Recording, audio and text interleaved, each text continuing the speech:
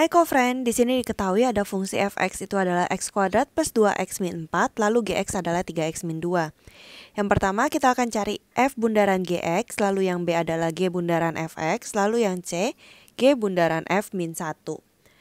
Bundaran itu menyatakan bentuk fungsi komposisi. Jadi kalau kita punya f bundaran gx itu artinya f komposisi g itu adalah gabungan dari beberapa fungsi membentuk suatu fungsi yang baru. Jadi kalau kita punya f bundaran gx itu artinya adalah f gx. Jadi kalau terbalik kita tulis g dulu baru f ya berarti di sini g fx. Berarti kita lihat yang a. Kita punya bentuk f bundaran gx itu berarti jadinya adalah f gx.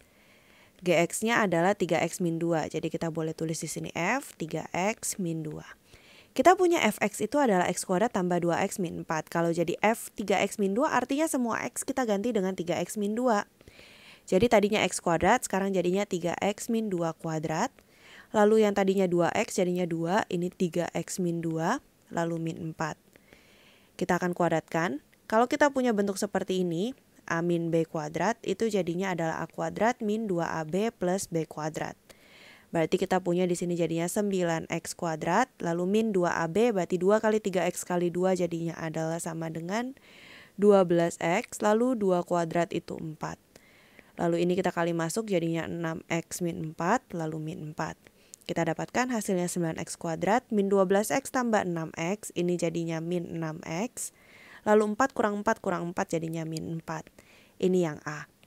Lalu kemudian yang B caranya sama. Yang B kita punya GOF X. Itu berarti adalah G fx. Jadi kita punya G, fx-nya adalah x kuadrat plus 2x min 4. Jadi kita ganti x kuadrat plus 2x min 4.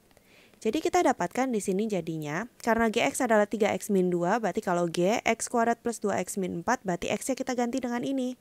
Jadinya 3x kuadrat plus 2x min 4 min 2. Kita kali masuk jadinya 3x kuadrat tambah 6x min 12 lalu min 2. Ini jadi 3x kuadrat tambah 6x min 14. Ini yang B. Lalu kemudian yang C kita punya GOF min 1.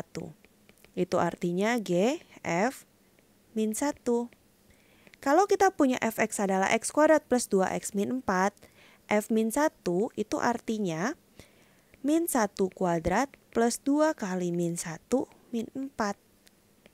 Jadi kita dapatkan di sini min 1 kuadrat itu adalah 1, lalu 2 dikali min 1 jadinya min 2, lalu min 4.